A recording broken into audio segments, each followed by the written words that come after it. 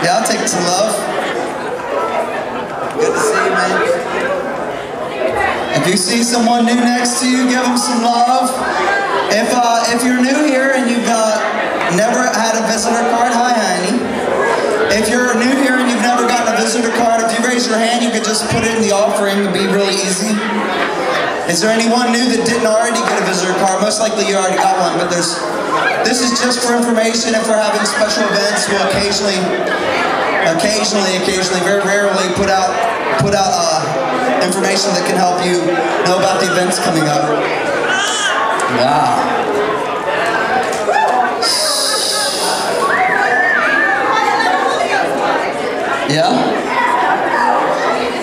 Tracy said there's a good word, don't, don't leave.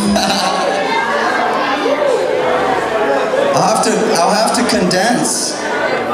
But you know, if that's all the Lord, you know, if the Lord maybe he'll say between now and then to get back into worship. I don't know. I think it's important to be sensitive. Can we turn it down just a hair in the house? Not that much.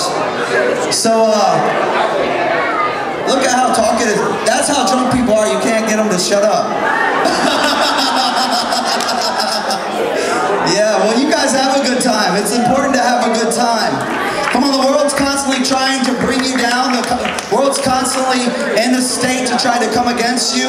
But you know, one place we should be able to have freedom and have joy and have a good time is in the house of the Lord. Amen? Yeah, well, we love it. We love what God's doing. We're uh, ridiculously flabbergasted at the goodness of the Lord. There's no explanation to this flabbergastion. It's flabbergasted. See? That's the face I feel. Oh, wow. Shabba.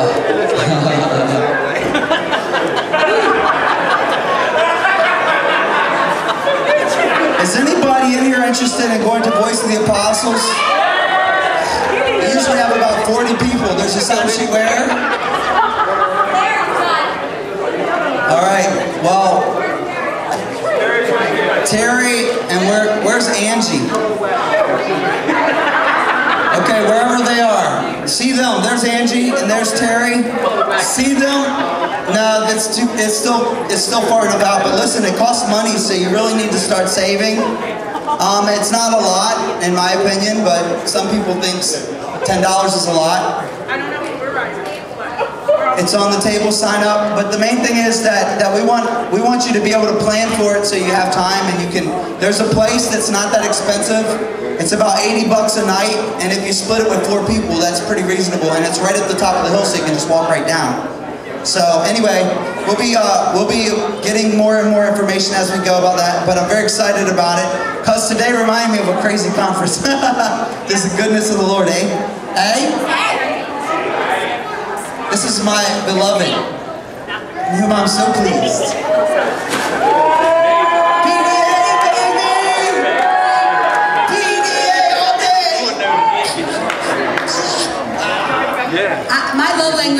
Words of affirmation for those that need to know. Please learn that. It's so embarrassing. Or physical touch. I do like to hug though. I do. Yes, I do. Yes, I do. I hug everybody when I'm really drunk. so,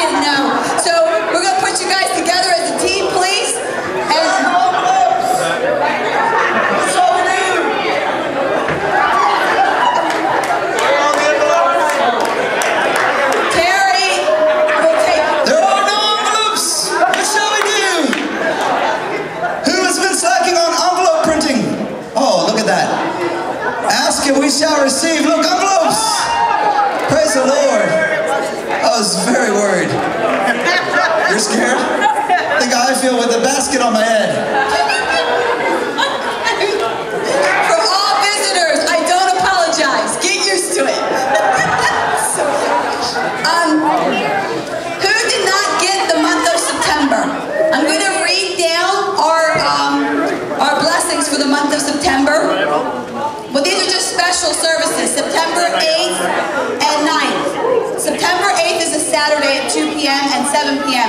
We're going to have uh, Pastor Phil from the Ark in Alabama is going to be here.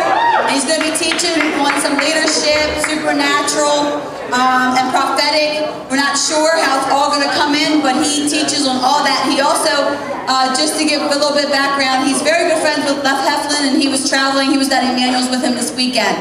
Um, and Lee... He does the school of supernatural he does the Bethel School of Supernatural. So that's going to be a really exciting weekend. I, I put these together so people can not forget, please. Uh, we want everyone to be poured into, uh, and I want to be poured into. Um, so the following week, September 16th, my husband's going to have a special word. And then the following week after that is the women's conference. That's September 21st, 22nd, and 23rd. And those that need a flyer for the women's conference, can someone pass these out, please? They have the dates on them now. So if anybody needs one, um, Tracy Lucy is going to be the guest speaker for that, but there are several other women that are going to be speaking for the women's conference. Some of the titles are going to be on identity, some are going to be on being a deep well. Like us women, I think sometimes we struggle with doubting ourselves. Doubting ourselves that we cannot handle things. And that is a lie that needs to get broke. And I am praying this women's conference is going to put such a boldness in you through the Deep Well message and ask, seek, and knock your. That's another title. Um, and then the following weekend, which is September 29th and 30th, Dr. James Maloney is going to be back with us. So, hey, I some yelling for my women's conference. Come on, women. Yeah!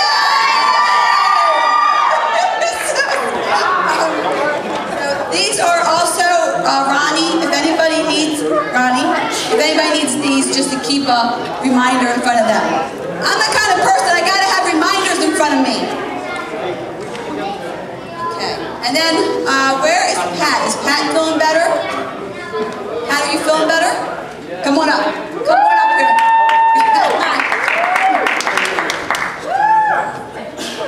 And Mike, you got your thing next Sunday. Don't forget, Mr. Goatee.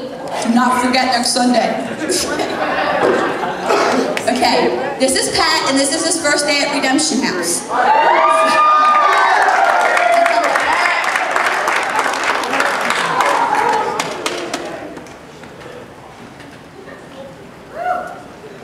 Um, we had planned for him to come today and share a testimony, and when he got here, he got a really bad headache that caused him to start vomiting.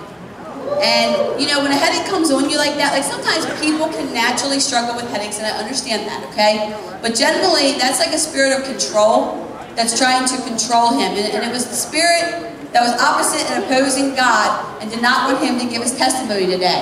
So we prayed with him. He's not vomiting anymore, and his headache is still there a little bit, but it's going away. So I, right. That's right. And I said, the word of your testimony is going to still go forth today, and as soon as you give it, your headache's going to be completely gone. Well, she said I'm uh, Pat. I'm the cousin of uh, Carly uh, over there. Uh, I just moved in, just moved uh, uh, into her house about two days ago. Um, but let's uh, rewind all the way back. Actually, if you wouldn't mind bowing your heads. Dear Lord, uh, thank you for this day. Thank you for um, uh, the healing you placed upon me. Thank you for not uh, allowing the devil to uh, have his way this morning and keep my mouth shut, Lord God. Um, please, uh, please allow me to, please allow the Spirit to speak through me, Lord, and say what I need to say. And um, please let anybody uh, cultivate their mind and uh, allow them to receive if they've gone through anything similar. Uh, just to know that they can get well to you. Your name I pray, Lord God. Amen. Um, uh, well, let's just start at the beginning. Um, I, uh, I had a good life. Um, wasn't really um, denied anything. Um, but um, when my parents, uh, my parents were together, um, they split up at uh, uh, when I was three years old. Um, and it was something at, for some reason at that age, I can recall that. I was sitting up at the front, at the top of the steps with my sister, um, watching them fight. Um, nothing physical. Uh, but for some reason, I thought I caused it. Uh, I don't know psychologically why that is, but I thought it was something I did. Uh, a year later, uh, there was a guy that lived next door, Richie. Uh, he used to come over here, he used to watch us. Um, was first person I began to trust uh, outside my family. And um, for some reason, he took it upon himself and uh, molested me. And then year later, with all these uh, weird confusion, um, everything else, I had my first sexual experience with uh, a girl a few uh, years older down the street. So, um, growing up, I had a lot of. Uh, I, I learned to distrust before I learned to trust. I learned to. Um, uh, I learned to hate before I learned to love. Uh, so I was confused about a lot of things. I didn't know um, how to act. Uh, I didn't really know how to talk to people. I knew how to uh, withdraw from a lot of situations um, emotionally. Um, so growing up was uh, was kind of tough. My family tried to get me help, um, but I didn't want to talk about it. I refused. If the problem, if I didn't talk about it, the problem wasn't there. Um, so um, the we, we lived with my mom, and I became codependent. I guess with that. Um, she was my rock, and um, she had her own separate demons to deal with. And uh, by the age of seven, we were taken um, from my mom's house and placed um, uh, placed at my father's house. And um, for some reason, I thought it was something I caused again. Um, I thought, uh, you know, one woman in this world, uh, one person that uh, who I loved, didn't want me. Um, and, and it sucked because I, I didn't know why. You know, I figured it was, um, uh, oh, closer, sorry. um, I didn't, I didn't understand why. I thought it was something I caused, something I guess, um, with, I was damaged goods, quote unquote, for what happened to me. Um, I thought, uh, I, I just thought all these things. Um, and uh, so from then on, I, I kind of felt as if, uh, okay, well, I'll play the role.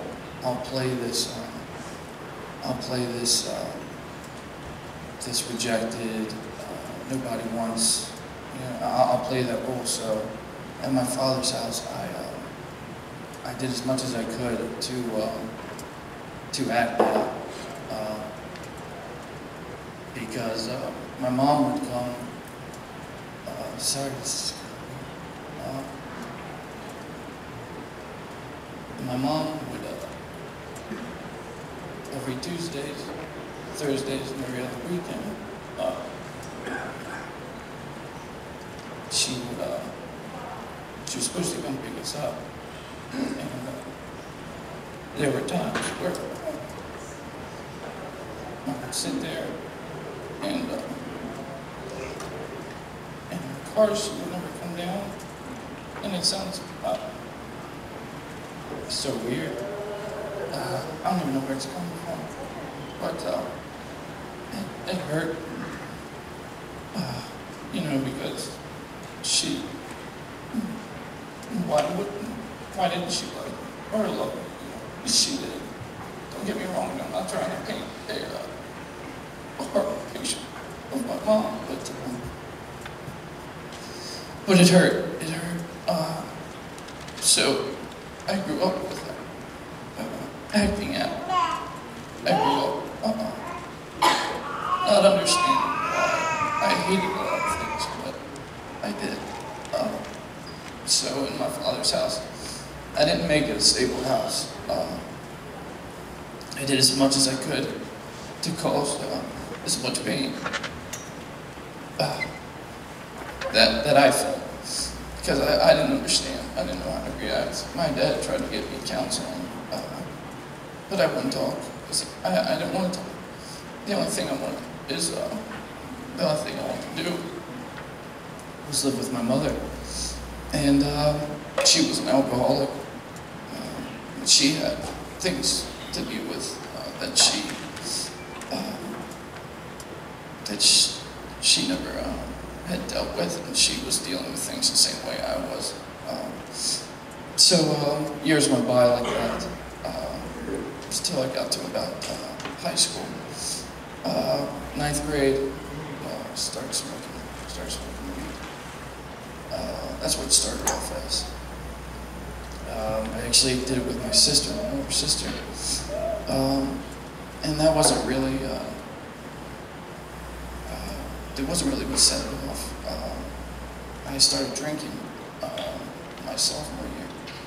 And that, that, uh, that I couldn't understand why people didn't do it every day because uh, I felt, I felt normal.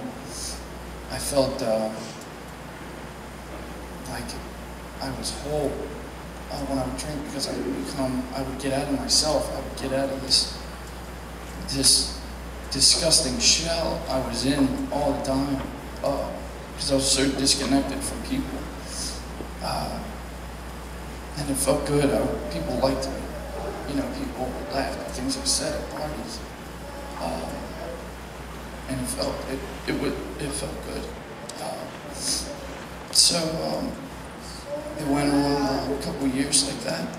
Uh, didn't uh, finally cause as much uh, by my sophomore year.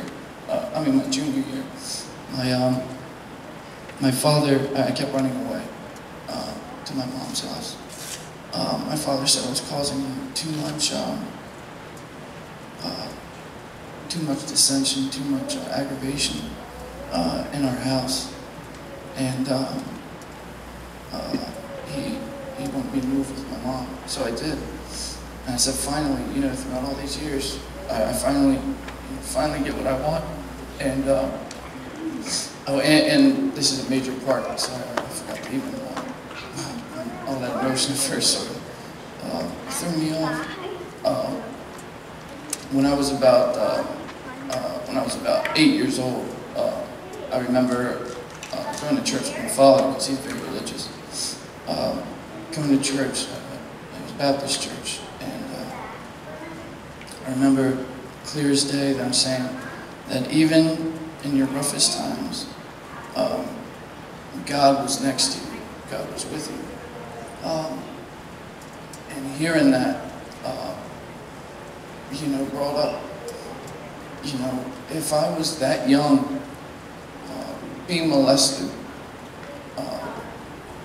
you know, while my whole things with my mom not being there, if, if he was there the whole time and didn't do anything, what kind of God is that? And I, and I hated him from that moment on. Um, I hated him. Uh, I hated him for making me the way I was. I hated him for not saving me. Uh, I hated him. Uh, I hated him for everything. And then, and then my father, being as religious as he is, my hatred also turned to him because why would he?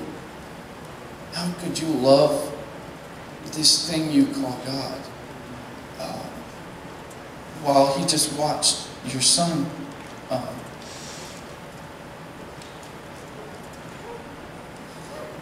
while all these things were uh, going? Um, so that's what that's what a lot of my hatred came from. It took us up to church, and I always called uh, always trouble church. So back to uh, I'm living with my mom now, and um, we uh, I go to school in uh, Bel Air. It's my uh, senior year. Uh, started experimenting with uh, pain pills, and that's when it really went off. That's what uh, that's what really numbed uh, everything. So the next few years were filled with, um, partying. Basically, they were filled with any way I can, uh, I can just, because it, existing at this point, I had no drive. Uh, I had no want to do anything. Uh, oh, how to end up in Teen Challenge. Oh, well, that's, uh, I, I've been to there five times. Um, from about age, uh, from about age 18 to 25, uh, it was filled with, uh, uh, all filled with drugs, all filled with different types of rehabs. Um, been the Teen Challenge five separate, uh, five separate occasions.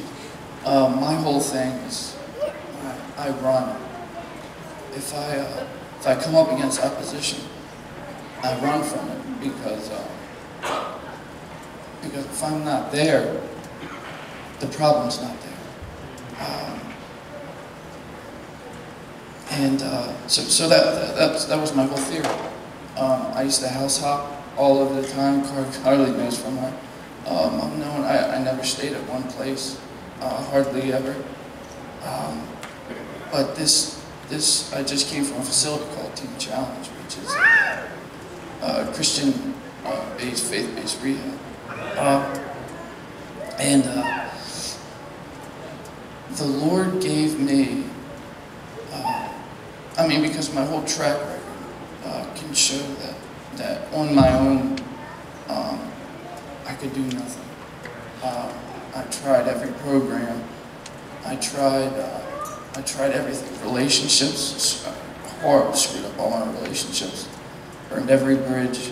Uh, I have a handful of actual real friends. Um, you know, thank God I got blessed with the family I did because um, uh, by any other standards, uh, I should be, you know, skinned alive and uh, hung out to dry. And um, uh, God gave me something that I, I could never, um, I get, he, he gave me grace. He gave me mercy. He, um,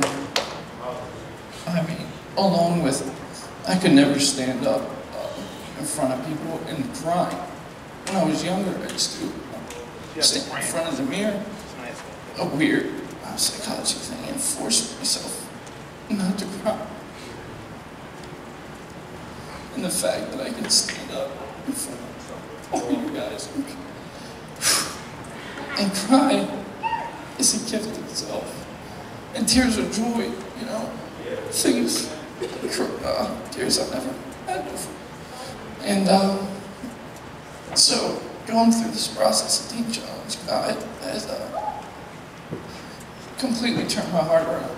You know, like, I mean, to loving Him, giving me the gift, actually, to love Him and come to Him.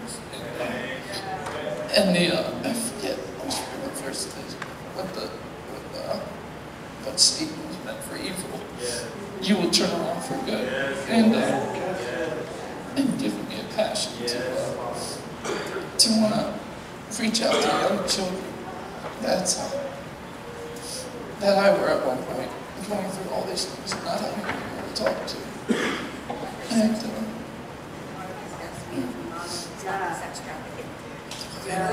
I just want to pray over you. If you guys could just just raise your hands this way. And also, I feel like there's there was some people in this room when you first started with the divorce thing that that divorces caused a lot of confusion in your life.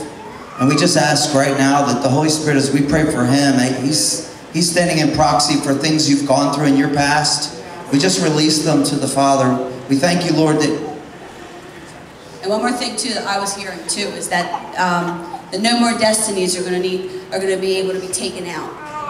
That it's going to be a stop to the destinies that have been trying to be stuffed out. That the Lord is coming in like a flood and like in power. And there are many of you right now from pain and hurt that you're still running.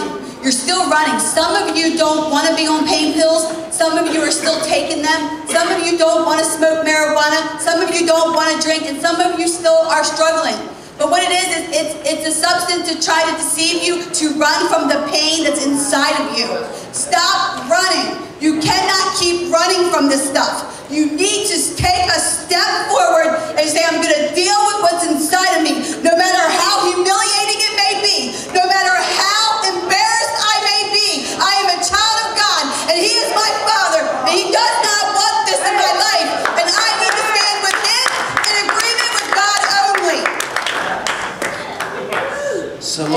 bless him as a son right now. And we thank you that you're a good father. And we thank you, Lord, that you've blown away all deception, Lord, and everyone in this room, Lord, that, that has walked under that darkness. We just release all that darkness. We ask, Lord, that he would even be used mightily, Father. Just order his steps as you promised, God. Send him forth, Lord, to do what you asked of him, Father. We just ask for clarity. We ask, Father, for him to continue to stand firm and not, not run any longer. We thank you, Lord, that in you we, we, we stand strong against the wiles of the enemy. Father, we just bless him. We bless him. We thank you for the blood of Jesus, which wipes away all your past. The only thing your past is a, a weapon against the enemy. And we thank you, Lord, for these things that are going to be used as a weapon in, his, in your hand for, for your glory. And we just thank you for it now, Lord.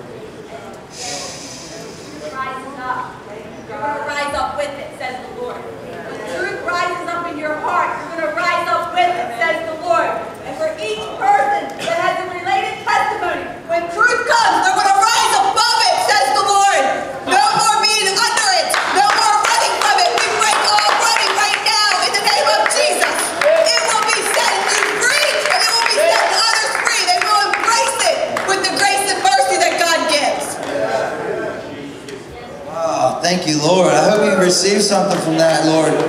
Come on, we break off all condemnation. Amen. Yeah. What a great testimony. See, I can feel myself stirring when people give testimonies like that. Like I said, oh, oh, oh, oh. give me a um um what what what yeah things. I get them. I'll get them for you. I'll get them. I know. Feel it. Oh, sorry. okay, let me focus back to reality. um, well, we do have Bible studies on Tuesday night, we do have prayer group on Tuesday night. Please all come. Please all come. We have a great time. Um, and then we can release the children in a couple more minutes, and also the teenagers in a couple more minutes, please. Um, you got that scripture, Anna? I gotta share a little bit of a situation. Um, this past week's been a little bit of a strange week because um, it's been a good week, and I've been very peaceful, very peaceful.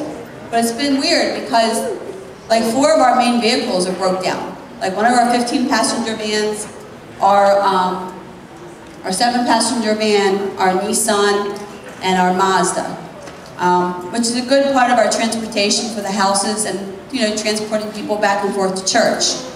I did make some phone calls to reach out for people today for help to get people here, which I was thankful, very thankful for that help.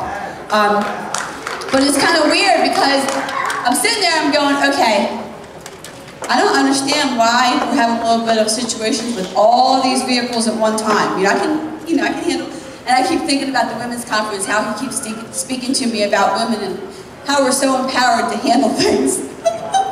Okay, I can handle this. And I am. it's been good. So they're all sitting in the yard. and I'm not worried. I'm sorry. It's good.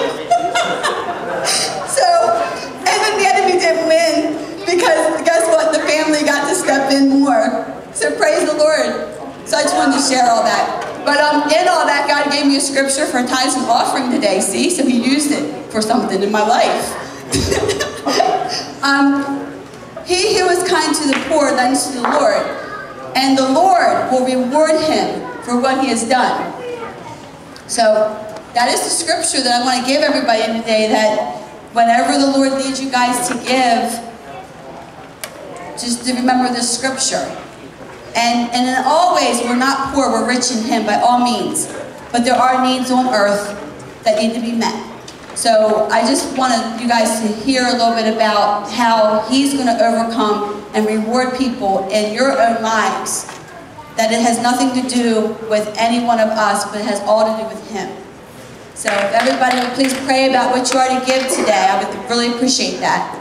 And then Anna, we could have some tithe music. I it's so hard, you know, like when the Spirit's moving and you gotta transition into this. It's just like feels crazy sometimes. but yes. Yes. Music, Anna.